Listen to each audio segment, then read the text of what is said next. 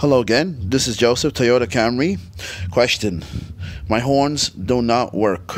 Both horns do not work. Let's analyze and then troubleshoot. Another relay. First of all, always start over here through a 10 amp fuse coming out here. Now there's two paths for current to flow. One path here, one path here. We'll see which one we take first. If we go over here, the switch at rest is in this position. Therefore, this is open circuit. We cannot go here. Let's try the other path, the blue. Follow this one. Yes, it makes sense to go this way first because this is the coil that has to be energized, magnetized to pull in the contacts. So therefore, we take this path first to energize and I put one over here. That means this is a sequence. This has to first happen then number two will happen. The sequence will be this way. We go this way. Light blue wire. Actually pin number two we come out. We go in number one. Come out number pin number two of the horn relay. Go over here. Follow the blue. D15 I'll back out here. Light green come out here now. This is the clock spring. Now, we go through here. When you hit the, the horn switch on the steering wheel, this is what's being operated. This horn switch right here and the clock spring. So this has to be closed to ground to make a complete path for this relay, this coil to be energized. Otherwise, it's an open circuit. So therefore, this has to be closed to ground. When we hit it, we're closing the circuit to ground. We're activating this part of the relay. What will what will happen then? As this is being activated, this magnetic field, this is being drawn, the the switch to to other to this contact position between here and here, between five and three that's now where this contact is.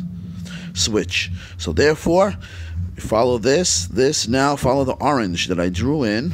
And you see this means it is magnetized and it is drawn in. Therefore, we go out here, pin 3, black wire. Come out here, two, two horns, low pitch and high pitch in this sequence for a 2.5 liter. Therefore, what will happen over here? The current will split. Some will go this way, some will go this way. So, therefore, we need one thing to happen.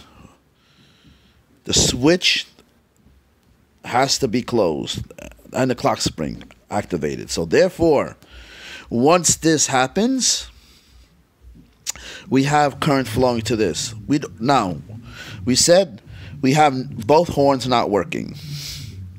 What does that mean? First, let's go over here. Measure 12 volts. If we measure 12 volts over here, that means the fuse is intact.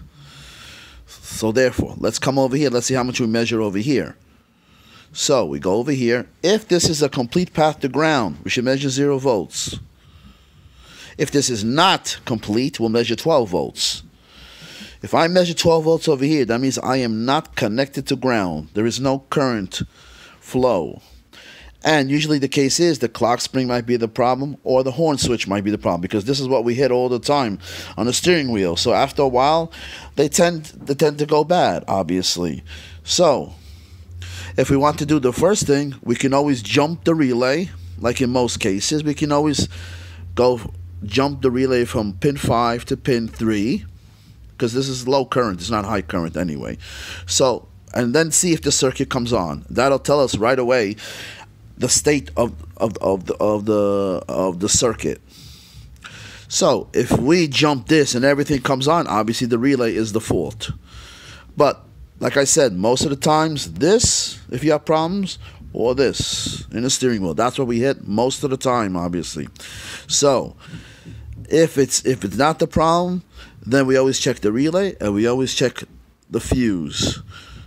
So, simple circuit, not really that complicated for Toyota. Anyway, I'm um, glad you uh, uh, viewed this. I hope to see you in the next video. Thank you very much.